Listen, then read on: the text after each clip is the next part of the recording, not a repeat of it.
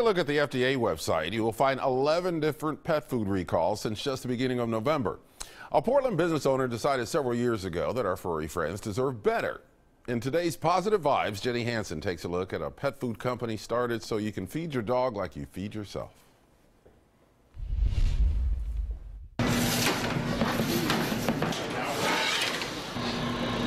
Has the feel of a bakery, but the Portland Pet Food Company, as the name implies, isn't baking for humans. This is Winnie. She's so excited because she got out of the car. Katie McCarron is the top dog at Portland Pet Food, founding it after her old dog Rosie started having health issues. I just wasn't ready to give up on her, so I started researching, went on the internet, uh, spoke to a couple nutritionists, and started making some formulations of food and started cooking for her first at home and she started eating, started gaining weight. From there, Rosie's Beef and Rice was born with more food and treats to follow. All of it cooked human grade and all of the ingredients from the U.S. The flour is exclusively from Bob's Red Mill.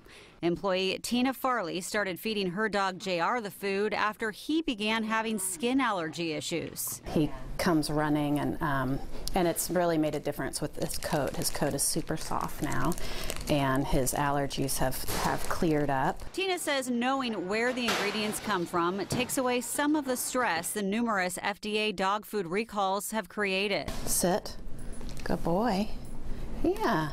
She says he's a fan of the popular brew biscuits, which also have a special connection to the Northwest. We work with the local breweries to repurpose their spent grains. So basically, we go in on the days that they are brewing and collect the barley and turn that into scrumptious biscuits made with all natural peanut butter, organic pumpkin, beef broth, or um, nitrate free bacon that we get from Carlton Farms.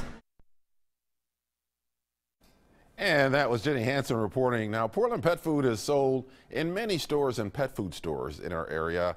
And up and down the West Coast, they even ship across the country.